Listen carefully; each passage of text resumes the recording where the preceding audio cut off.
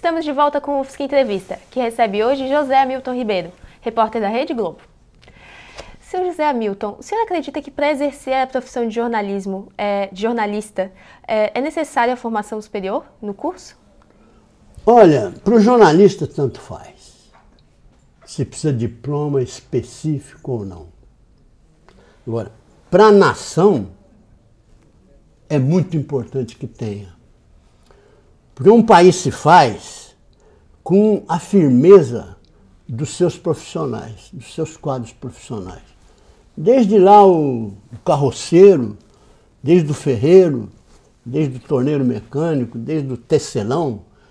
Quanto mais o país tiver profissional competente na sua área, mais o país é competente como um todo.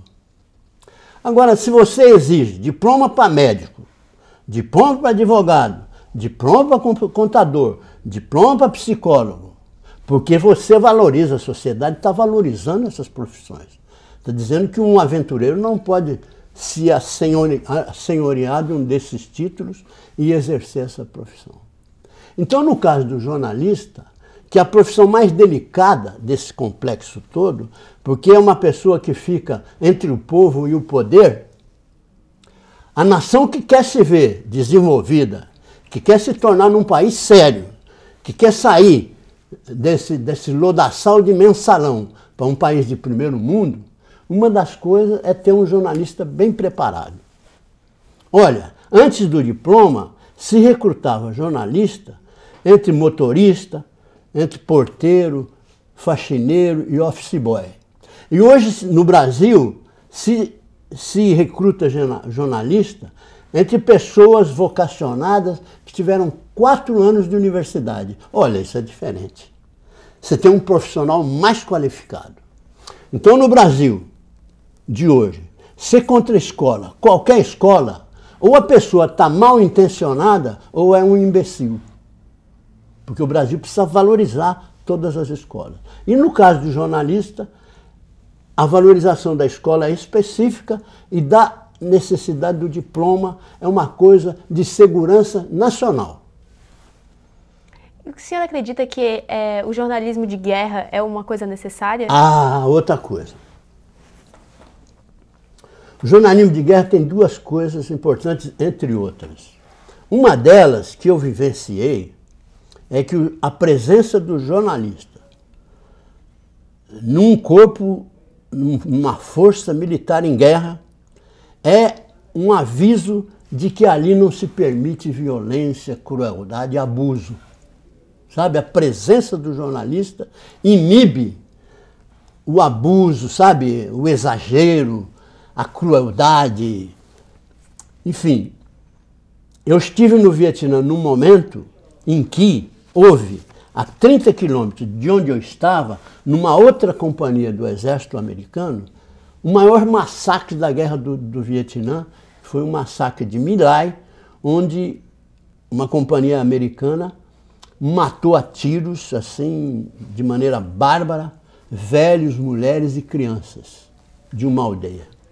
Eu estava a 30 quilômetros de lá e na companhia de, do exército que eu cobria, que eu estava junto, eu não vi um ato de indignidade de algum militar.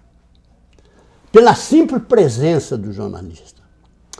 Então eu sempre pensei nisso, imaginei, será que do outro lado também valia isso? Será que do lado do, da, do comunista, da luta do comunista do Vietnã, também valia isso? Tinha essa interrogação. Até que eu vi o depoimento de um fotógrafo de Hanoi, que era um fotógrafo recrutado pelo exército norte-vietnamita, o exército comunista, para registrar determinados episódios da guerra. E um belo dia ele foi chamado para fotografar um piloto americano que tinha sido ejetado do avião, que foi atingido por um fogo antiaéreo. O piloto caiu e foi capturado. Então, esse pessoal o exército norte-vietnamita trouxe esse piloto num determinado lugar e chamaram o fotógrafo para fotografar o piloto americano, a grande presa. O fotógrafo vai, já tinha feito outras coisas desse tipo, né? fazia coisa como um burocrata, né? não era nem jornalista, era um burocrata. Quando ele chega, ele não sabia ainda o que, que era, mas quando ele vai chegando naquele aglomerado de militares ali, ele vê lá no meio um americano, que era muito mais alto do que a média dos outros lá, um uniforme completamente diferente, e viu na expressão do homem o pavor. Porque aquele americano apreendido pelos comunistas tinha certeza que iam fazer com ele o que faziam com todos os outros, que era interrogatório, humilhação, tortura e assassinato. Era o ritual. Então ele expressava no rosto essa expectativa. Quando o americano vê o fotógrafo, ele iluminou o rosto deles, mudou o rosto do, do horror para um sorriso e para uma expectativa assim, de esperança porque ele imaginou o seguinte: na presença de um jornalista não vão fazer nada comigo. Então eu tive a convicção que, mesmo do lado totalitário de uma guerra, a presença de uma câmera, de um testemunho de um jornalista, faz uma diferença enorme. O outro ponto é o seguinte: um acontecimento militar, ele não tem importância se não tiver quem escreva sobre ele. Que seria de Canudos sem Euclides da Cunha. Um episódio militar de um relatório burocrático. No entanto, teve a grandeza de um, um monumento literário, de um grande momento histórico, porque teve o Euclides atrás. O que, que, seria da guerra do Peloponeso sem Tucídides? O que, que seria da guerra de Troia sem Homero? Sabe, ninguém saberia disso aí. Então a importância de um acontecimento militar depende de quem o relata. E geralmente o jornalista presente acaba depois fazendo livros importantes, como aconteceu com Hemingway, como aconteceu com o, o, alemão que escreve sobre o Hitler, que era um jornalista de cobertura de guerra. Então tem esses dois lados. E o senhor acredita que participando da guerra junto com uma companhia americana consegue escrever e ter uma separação, é, cons consegue ver os pontos negativos é, daquela companhia? Pois é, eu acho o seguinte: os grandes, as grandes denúncias de crueldade do exército americano no Vietnã foi feita por jornalistas que estavam acompanhando a, a, o exército americano, que eram credenciados pelo exército americano. Sabe? O, quer dizer, a presença de jornalistas numa guerra não é que evita a crueldade em todo lugar, mas onde ele está, evita, e onde ele não está, ele fica sabendo e denuncia. Quer dizer, a denúncia de Milai, hoje, por exemplo, o Vietnã do Norte tem um belo do museu sobre a tragédia de Milai. Um museu muito bonito, porque morreram, imagina quantas pessoas morreram ali.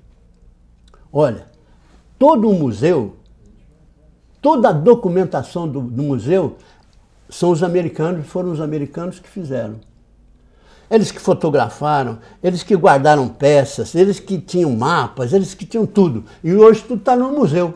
Quer dizer, um museu norte-vietnamita, um material todo fornecido de graça pelo exército americano. Que o americano tem isso dele. Ele faz a bobagem dele, né? Mas ele mesmo denuncia, ele mesmo documenta, ele mesmo leva para o Congresso, ele mesmo leva para a imprensa, sabe? É uma, é uma sociedade que se depura dos seus pecados, né, ah, discutindo e botando a público. Por exemplo, você vê assim, você vê grandes reportagens sobre a atrocidade do exército americano no, no Iraque, no Afeganistão. Você viu alguma reportagem sobre a atrocidade do exército russo na Chechênia? Nenhuma, porque simplesmente não deixam o jornalista ir lá, simplesmente não deixam. Né? Alguma reportagem sobre a atrocidade do exército coreano na, na Coreia do Norte? Nenhuma, porque não, simplesmente não entra, né? Se entrar, leva tiro. Certo. O senhor pode falar um pouco sobre a ditadura? O senhor sofreu com a ditadura no Brasil? Ah, eu sofri, como todos os jornalistas, como toda, todo trabalhador intelectual e também não intelectual, o povo brasileiro sofreu com a ditadura. No meu caso particular, eu tive duas vezes que fugir de casa, porque tinha denúncia, tinha aviso de que a polícia ia me pegar, e eu tive que fugir, ficar escondido um tempo.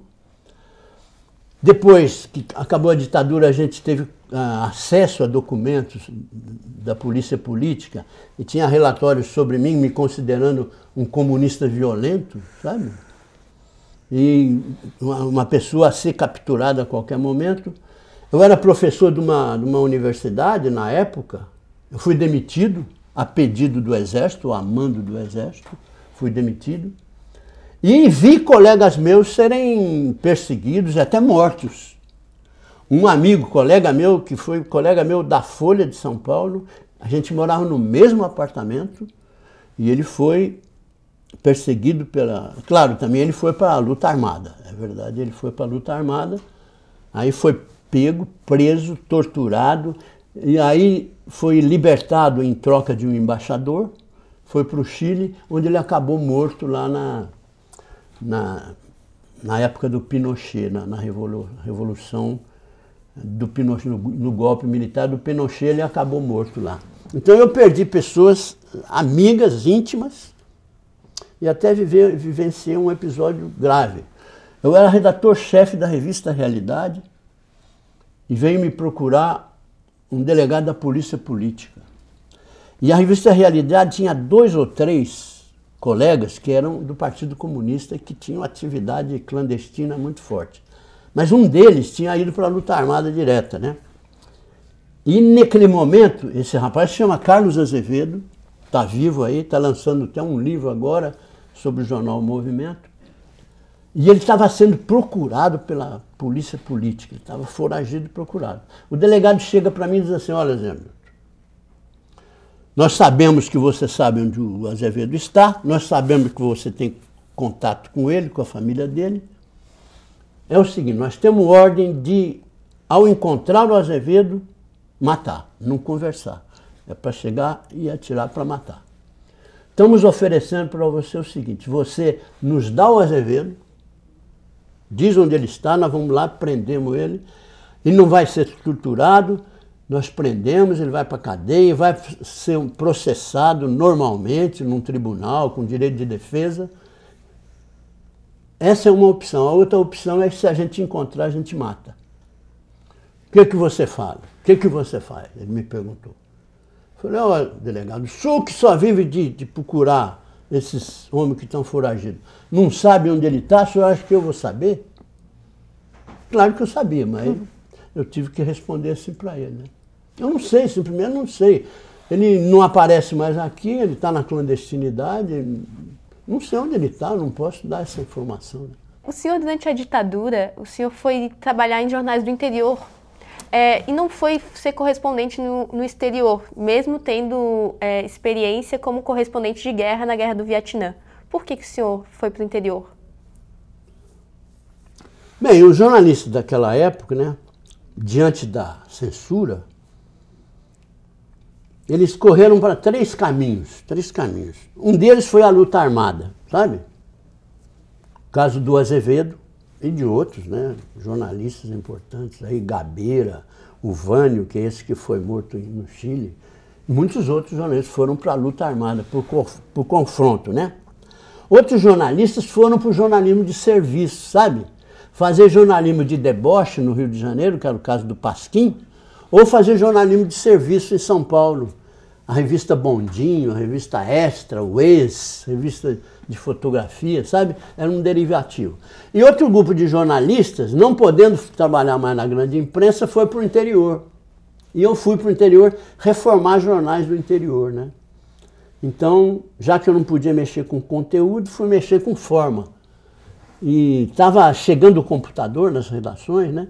Então eu fui para uma cidade instalar a composição de computador, impressão offset.